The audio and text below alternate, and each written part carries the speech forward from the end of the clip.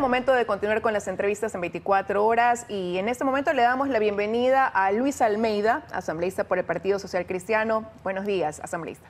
Buenos días, asambleísta. Un gran abrazo a la inmensa audiencia de Teleamazonas. Decirles que el este legislador Lucho Almeida siempre ha venido al Parlamento ecuatoriano a hacerle bien al Ecuador, jamás a perseguir a nadie. Lo que sí soy es un legislador constructivo y en ese sentido es necesario eh, todos los proyectos que Lucho Almeida ha presentado, que son alrededor de 14, sean conocidos en el Parlamento, como por ejemplo este gran proyecto, ya que se cayeron todos los otros de ley de comunicación, junto a la Asociación Ecuatoriana de Radiodifusión y algunas televisoras, hicimos un gran proyecto de reforma a la ley de comunicación, asimismo la ley de educación superior, asimismo una ley para eh, darle oportunidad a los presos, un trabajo penitenciario. Ahora sí puedo preguntar. Buenos días. Mucho gusto. Bueno, le, presentamos todavía como asambleísta del Partido Social Cristiano porque está en un tribunal y capaz que me lo expulsan. Porque ¿qué le pasó? Cuéntenos, ¿por qué votó a favor de que vuelvan las pensiones vitalicias? No, no, no, no, no, no. Yo siempre le he hecho bien a la, gente. El partido no tiene por qué estar resentido conmigo. A la gente que está prófuga y presa. Eh, esa es una situación que eh, la hacen, vea usted que el señor Quispe no presentó ningún proyecto. no, no, no. la pregunta es, ¿por qué votó a favor de que se restituyan las pensiones vitalicias? No es que se restituyan, están en este momento en vigencia. Eso, vea, hay 17 proyectos de ley y esos, de las cuales tres o cuatro dicen que no se le pague nunca más. Usted debe recordarse que en el primer debate este legislador dijo que poníamos a consideración del país lo que haya que discutir. Yo no tengo ningún interés de pagarle o no pagarle, aunque hay que considerar que han quedado viudas, niños, huérfanos, ¿Por qué votó? Eh, presidentes que quedan sin amigos. ¿Por qué, votó, en definitiva, ¿por qué votó con el correísmo y en contra de su partido? Bueno, el partido no me ha dicho que no vote con quien no vote, o sea, es una cuestión. Pero por eso está en un tribunal. Si eso no, no tiene nadie, no, no, no, no, no, eso no es así. No, no, no, no es así. Vea, eh, voté allí, yo iba a votar por el proyecto de, del señor eh, Salvador Quispe, que era anular las eh, pensiones vitalicias, pero no lo presentó, se puso vago y no entregó el documento. Y presionaba a la presidenta de la Asamblea, de la Comisión, para que hagamos un proyecto y el Pleno discuta. No es que está votado y ya ganó eso, no, no. En este momento los expresidentes tienen esa pensión vitalicia. Usted puede ver como, por ejemplo, el expresidente Maguat sigue cobrando ha estado sentenciado, pero que tiene todavía una eh, acción judicial pendiente. Los que ya están ejecutoriados no lo pueden recibir. Eso lo dice la ley actualmente. Y yo creo que en ese sentido va a ir la cosa, ¿no? Asambleísta, eh, pero ¿en dónde está entonces esa mala interpretación o interpretación equivocada? Porque a raíz de su votación, su partido publicó en las redes sociales, emitió un comunicado diciendo que iban a esperar que sus explicaciones lo satisfagan para entender esa votación que no va en la línea de lo que quiere el Partido Social Cristiano. Y que según eso depende su, su permanencia o no en el partido. El, el Partido Social Cristiano no quiere anular las pensiones a los expresidentes que no hayan tenido sentencias. Y eso es correcto. Y eso es lo que está en vigencia en este momento.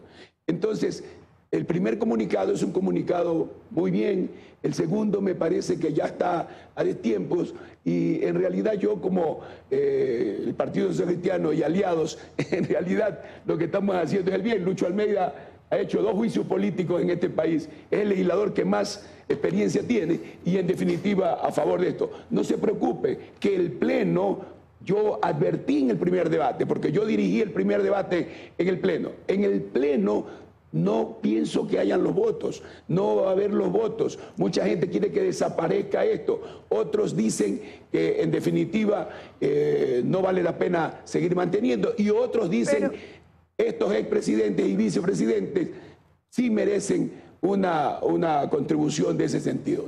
Pero ahí el tema de la polémica es que usted haya votado a favor de que se analice eh, restituirle esa pensión vitalicia a aquellos que hoy están fuera de eso, a a quizás ex, mandatarios, ex presidentes o vicepresidentes, que en su momento pues se los dejó fuera de ese beneficio por varios motivos. Entre esos estar eh, inmersos en procesos de investigación, de corrupción o sentenciados. Oiga, fue el único proyecto que presentaron, no hubo otro.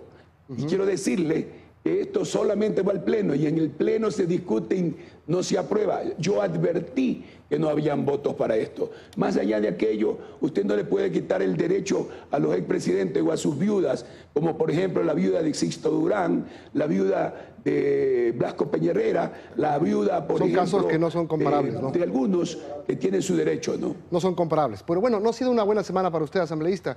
En el juicio político no logró los votos para destituir a al Consejo de la Judicatura, por ejemplo, y ahora su partido prácticamente lo deja solo. Bueno, yo creo que el partido me pidió a mí que yo intervenga como interpelante, no, no fui yo eh, el que pedí y definitivamente pues hoy día puede que hayan o no hayan los votos. Más allá de aquello, lo importante es que la justicia se corrija.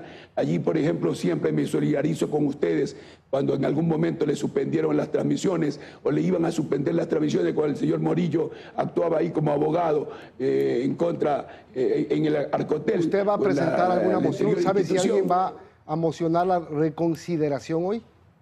Porque parece no que conozco, nadie lo va a hacer porque no hay los cinco no votos conozco, que faltan. No conozco eh, a quién lo va a presentar, si lo van a presentar o no. No conozco porque Su partido no lo va a es hacer. una cuestión de alternativas. ¿no? ¿Su partido lo va a hacer? ¿Usted lo va a hacer?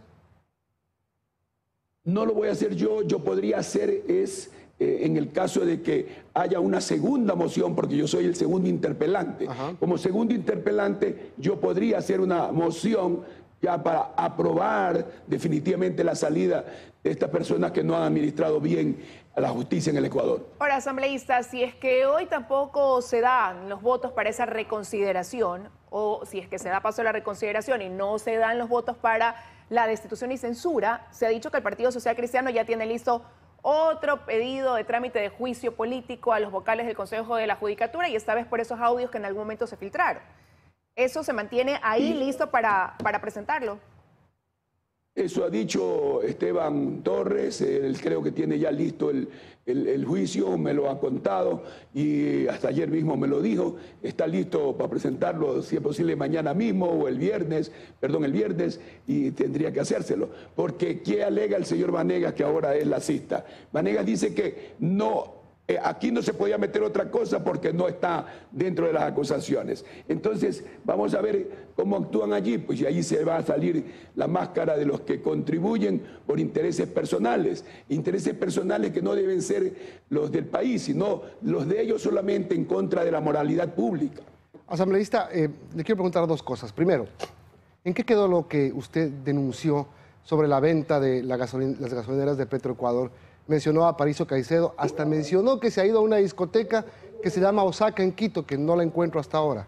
Eh, ¿Usted sabe que se equivocó? Bueno, eh, bueno, le puedo invitar a donde queda la discoteca Osaka. Yo ya la fui a ver y tengo un video de eso, pero eso no es el problema. El problema es que el Estado ecuatoriano tenía alrededor de 40 primero y después 80 eh, gasolineras y están pues desprestigiando la marca Petroecuador para que otras compañías internacionales, tales como la Shell, adquieran o administren esas gasolineras. El tema no va por ahí. Yo hice un bypaseo, como dice nuestro pueblo a este tema, para justamente investigar por qué, eh, están ¿Qué cayendo nuestras gasolineras del Estado y también por qué el tema este de la venta de crudo. O sea, por ahí va el tema. Y en el momento la gasolinera de Petroecuador de la Amazonas entregaré Orellana se vendió en el completa. 2016. En el 2016, Aparicio Caicedo no existía. Vea, en el 2012 comenzó la evaluación de estas gasolineras.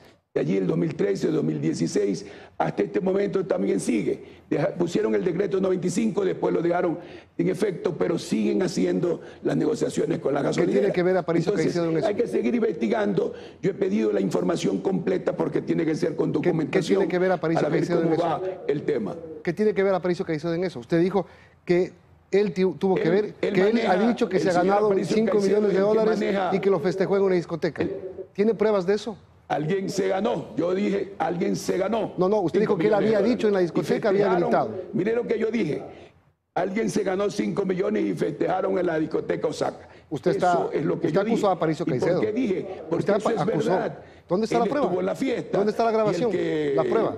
El que invitaba era él. Por lo tanto, no es que trata ahora de, de- de decir que él no es. Hay que seguirlo investigando. Yo lo estoy investigando y voy a concluir ya las investigaciones. Estoy vi- viendo facturas de las empresas que estuvieron en las negociaciones para ir viendo no solamente exp- eh, eh, exportación petrolera, sino algunos manejos de tipo para lograr que las gasolineras de Petroecuador se desvaloricen y venderlas a estas empresas transnacionales o a quienes manejan este negocio. ¿y cuál va a ser la posición también de, de su partido, del Partido Social Cristiano, una vez que también la Comisión de Fiscalización de la Asamblea el día de hoy va a tratar de reconsiderar el unificar eh, juicios políticos en contra de los consejeros de participación ciudadana y control social? Algo que ya fue negado el unificar estos juicios, ¿no? Eh, Algo que, atrás. vea, esa es la injerencia, de, la injerencia del señor Aparicio Caicedo, que es la mano oscura del gobierno nacional, y él está haciendo ese tipo de cosas para lograr de una u otra manera que se vayan todos. El tema es que hay un juicio contra cuatro y otro juicio que fue presentado después contra siete. El señor Vanegas, que ahora es lacista totalmente y está pues de una u otra manera destruyendo Pachacuti, es el que está haciendo este tipo Vanegas, de cosas. La ¿cómo se semana cambia, pasada no no? hubo los votos para eso. Vanegas Y- es lacista y usted eh, correísta. Mande. Vanegas es lacista y usted correísta. Vea, usted mejor que nadie sabe cómo el correísmo me persiguió a mí. Y por Sin eso embargo, vota. lo cual en mi corazón Bueno. no hay odio. Vea usted, a mi esposa le pegaron cuando clausuraron Radio Morena, a mis dos hijas, pero señor, yo no puedo vivir de odios ni recores. Un juez ordenó devolución de las frecuencias a mi familia en Guayaquil y yo me contento con aquello. De lo contrario, vivimos solo con rencores en el país y eso no es correcto. Una pregunta. ¿Usted fue a Miami y se reunió con Carlos Polit? Perdón que no le oí. Le preguntaba si usted fue a Miami y se reunió con Carlos Polit. Yo estoy haciendo una investigación, querido amigo, eh, respecto de los bonos Brady 2020 y 2030. En ese sentido, yo recibí toda la información del presidente Febres Cordero eh, algunos meses antes de fallecer y en ese sentido tengo toda la información de las negociaciones que se hicieron ilegalmente de esos bonos.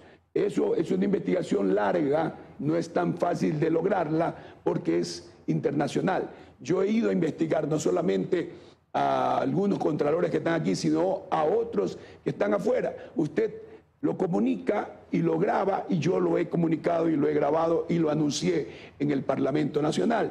Eso no es ningún delito, mi querido amigo. No estoy- Por eso tuvo no esa soy reunión. policía, yo soy investigador. Por eso tuvo esa reunión. También fueron los señores de la posta y los señores de la posta también hicieron una investigación. Yo vi cuando la posta hace unas preguntas y de eso continué la investigación.